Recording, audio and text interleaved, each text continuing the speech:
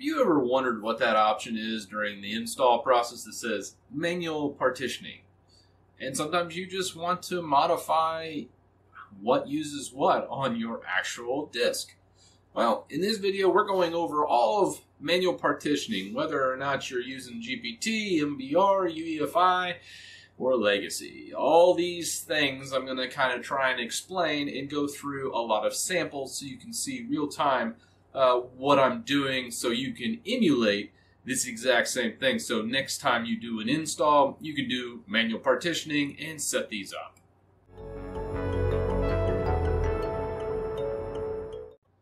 So first off, we have the boot process. So when you go to install, you will typically be either uh, UEFI or Legacy. These are the two options you have to boot from on a drive. Uh, now, I've done an extended video series over UEFI and Legacy. If you want to check that out, you can. Link will be in the description. But uh, for this video, I want to just go ahead and say, hey, uh, depending on what you're using, and if you're dual booting, you definitely need to stick to the same type of install meaning when you go to install your operating system, you need to do UEFI for Windows, and if you have Linux on there, it also needs to be UEFI. You can't have differing versions, otherwise, your dual boot process is just kind of a nightmare because you have to select each disk and it just gets really complex, and there's no need for that. So, if you're doing UEFI, do it across the board for all the operating systems installed on that system, or if you're doing legacy, make sure everything's installed doing legacy. So let's go over to the desktop. I'm going to show you the differences on the BIOS select screen between installing legacy and installing UEFI because this computer installs both as most computers these days operate and actually can install both UEFI and legacy. Uh, so let's go ahead and give you an example of both. Okay, so let's determine, we'll go to a boot menu from our BIOS here. So we'll pull this up. And here is where you really select. When you go to install your operating system, here is really what determines if it's legacy install or if it's UEFI. If you boot just USB flash drive, this is, let's say, a, a Windows install, or if it's a Linux install, and you select just USB without any UEFI in front of it, that's going to be a legacy install. By default, the installer is driven by your selection here. Now, if I come down here and say UEFI and I go and install uh, the operating system that's on this flash drive, well, that operating system will be UEFI based. So that's the differences. So some people get confused because sometimes they only have one option. Let's say you disabled UEFI in your BIOS or it just isn't showing. That actual installation media means we'll always install legacy.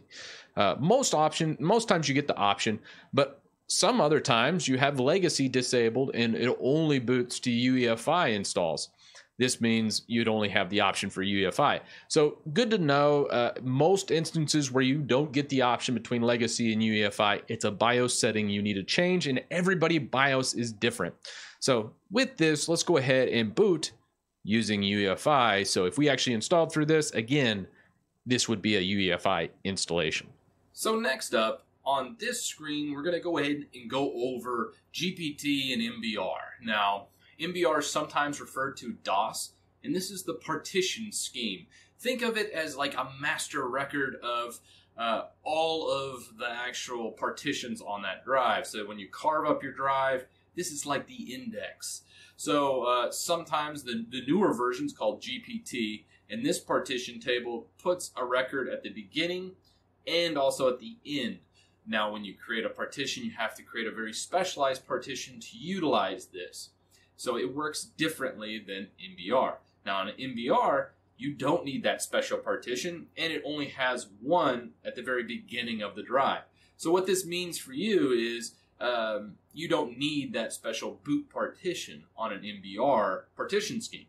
Now, you're still kind of following me here. Well, let's go ahead and show you the differences in the actual disk. So if you're unsure what you have, you can do fdisk from your command line, or you could also just go into gparted like I'm showing in this example, and you can see what type of disk this is. Now, when it's GPT, it's really important to note that these are controlled by kind of like the partitions where when it comes to the bootable drive. So this is kind of confusing.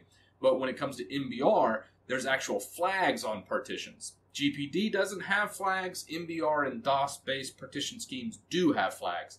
So what you do, you can make one partition on a legacy MBR type system and then just mark it bootable and it'll always just boot to that. So that's pretty slick and that's how some Linux installs you'll see, you know, a lot of stuff online where they only create one partition. Well, they're, they're just booting in using an MBR based partition system and then marking that one partition bootable and putting everything into it. So that's pretty awesome. However, when you got GPT, you need to do like a boot partition and it's a little more complex because you don't have that flagging system. However, GPT is a lot better because it supports higher end drives. So if you have bigger than two terabytes, you need to have a GPT drive. And uh, this is where people kind of get lost. So let's go ahead and jump over to the desktop, show you gparted, and I'm going to show you uh, the actual partition scheme on this one and kind of overload those differences and show you examples.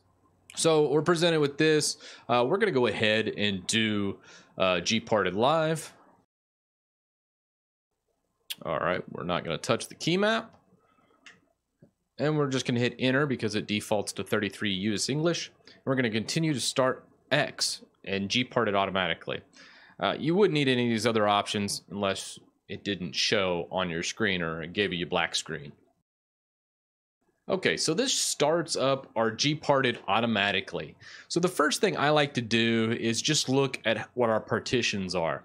I can tell already we have a boot partition right here. This says FAT32, but this is probably flagged as EFI uh, if we actually looked at its description. So let's see what this is. I'm going to say this is a GPT disk, but I always like to make sure by going device information.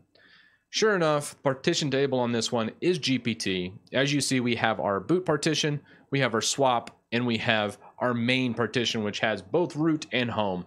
Some Linux installs break out root and home, um, but this is the basic structure. So boot partition for GPT is absolutely needed. We have our swap because I think this one only has like eight megs of memory or uh, eight gigs of memory, I should say. And then we also have all the rest of the drives allocated for root and home in this one. And this is actually using uh, Btrfs, where some other people usually do ext4 is typically uh, what most people select. I wanted to go a little differently on this one. That's why I selected it. So this is the basic partition scheme of a GPT disk. Now, if this was MBR and this said MBR or DOS over here, that is uh, both MBR and DOS again is about the same partition table structure. Just some programs call it one and others call it another. So let's say it's not GPT. You could have literally just one partition. Let's say it's ext4, and then you could literally have the flags boot, and that's it and you could put everything in there. Your dash boot directory would be in there. Everything could be in there. And then if you wanted, probably a swap file would be good for something with low memory like this one with only eight gigs. So that is the basis of this. And, uh, you know, that's the differences between the structure in GPT and the structure here. So with that, let's go ahead and boot into our Linux install. And I'm going to show you how all three of these are mounted in what's called fstab in Linux.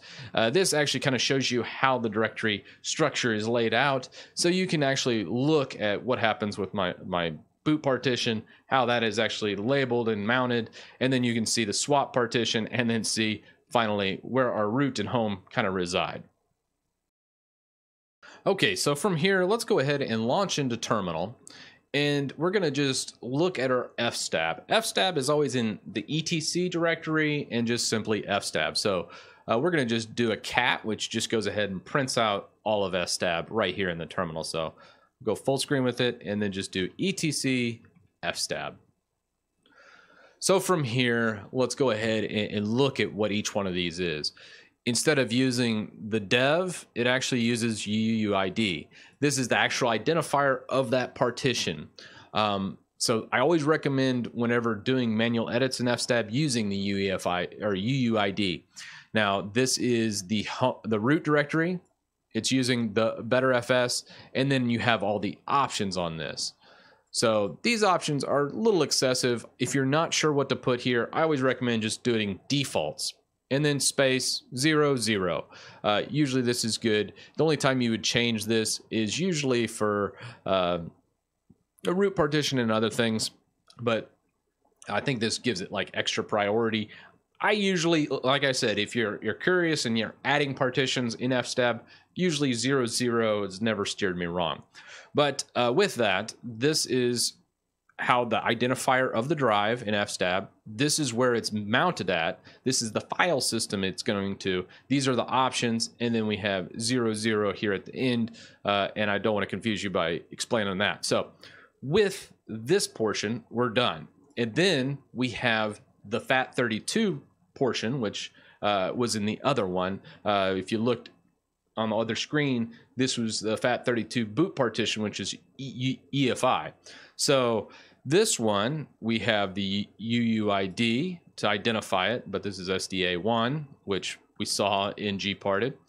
It's to forward slash boot, so it's mounting this to forward slash boot in our file system. It's a, a FAT32 or VFAT directory style, and then it has all these options. Now, most times I don't have any of these options. For an EFI partition, this seems a bit excessive. Uh, I guess whenever I installed this, it just kind of defaulted to all this, which is fine, I guess, but uh, you probably don't need much of this uh, as far as the options. And then finally, we have our swap partition.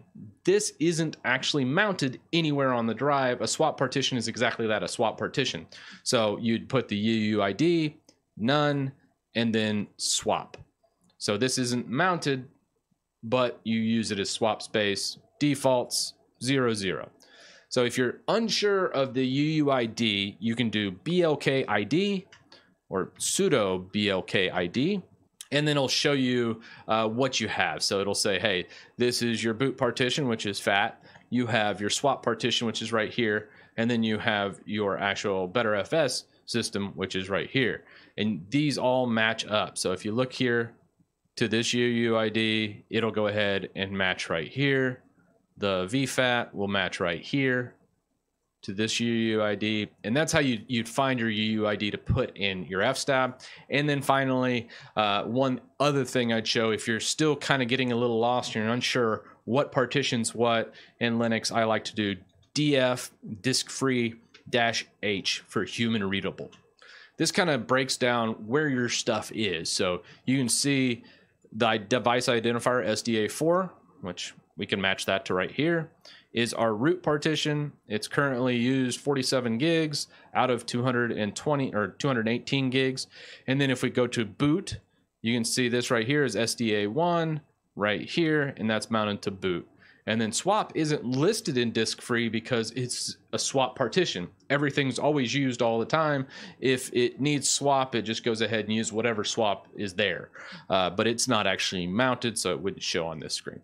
These are the basis screens for actually maintaining our partitions in Linux and then just kind of manually partitioning and just so you have a better understanding of a lot of the options because it's so easy to get lost in just technical explanations. That's why I wanted to show real world examples. So with that, you have these bases. Now, if you look at the examples, you can kind of see it on Linux-based systems.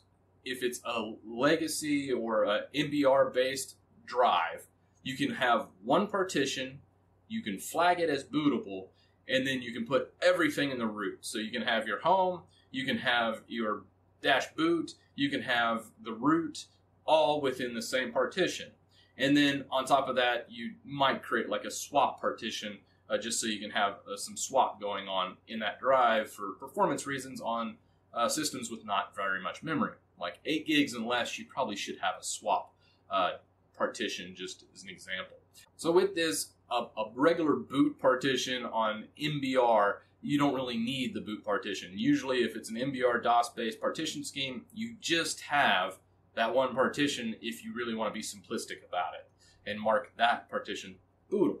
So with that, you also have GPT setups. Now, GPT setups require the very first partition to be a, a GPT, basically a boot partition it'll say EFI boot partition. So it's actual type of partition that has to be EFI. And, and this will basically allow it to boot. Now, I've kind of mixed up some of the terminology when I say UEFI and I say GPT. A lot of times those are together. Almost every single time you do this, there is some mix and match you can do, but it gets really complex. And for this video, if you're watching it as a beginner, I would just say, hey, if you're using UEFI, you probably should be using GPT, or you can do legacy. But if you're doing a legacy boot, just know that you should probably use the, the MBR based structure because GPT gets really confusing really quick uh, when you get the legacy, and it doesn't work all that well a lot of times. So uh, when you're doing a legacy boot, I like to stick to just MBR DOS based schemes. You can do GPT, but it gets a little dicey. So just as a general rule of thumb, I like to just say, hey, if I boot UEFI, I typically go GPT partition scheme. And if I boot legacy, typically I go MBR DOS-based partition scheme. This makes things kind of easy for me. And, uh, you know, if you're going to go out there and do UEFI boots, uh, I would recommend GPT just because they synergize so well with each other. You can mix and match and kind of break this rule for sure it just isn't advised, and you can have some, uh, let's just say, quirky things happen that uh, I can't really go into in this video because everybody's system's a little differently.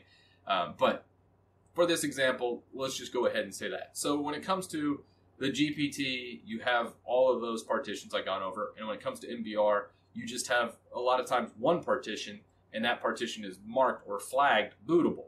Remember, the flags are only for MBR and legacy partitions, where GPT does not work on flags. Uh, a lot of times the actual partition uh, determines where that actual bootable is. And when you have that bootable partition, you got to make sure in Linux that you're mounting it to basically forward slash boot. Uh, that way, that partition basically uh, knows that, hey, this is where it'll boot from. Super important, um, but I wanted to just go ahead and lay out these examples so you know how to manually partition drives. But with all that said, let me know your thoughts down in the comment section below. And a big shout out to my patrons. Without you, I couldn't make videos like this one. And I'll see you in the next one.